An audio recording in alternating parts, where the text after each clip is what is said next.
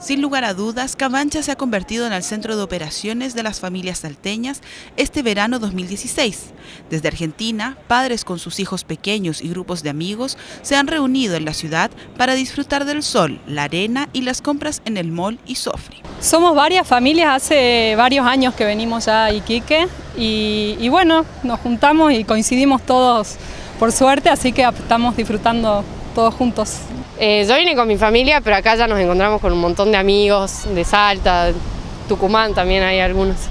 Más allá de conocer el interior de la región, estos argentinos que llegaron por tierra Iquique se han dedicado a disfrutar del bondadoso borde costero, las cálidas noches y los juegos infantiles.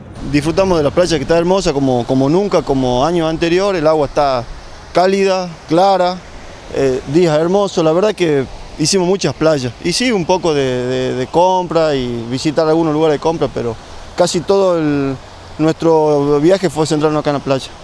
Bueno, aprovechamos los malls, Sofri, bueno, pasear por, la, Playa Brava, los juegos para los niños. Eh, la verdad que en eso que tiene muchas variedades de cosas. Y a la tarde por ahí vamos más a pasear a la Sofri, a Ripley, a los negocios.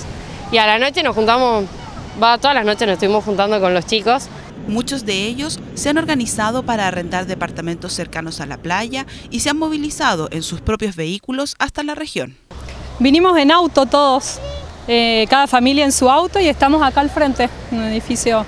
¿Arrendaron departamentos? Sí, arrendamos todos departamentos. Este año el cambio del dólar ha beneficiado a los argentinos, lo que se ha visto reflejado en las constantes visitas a los centros comerciales. La pregunta perfecta para mí.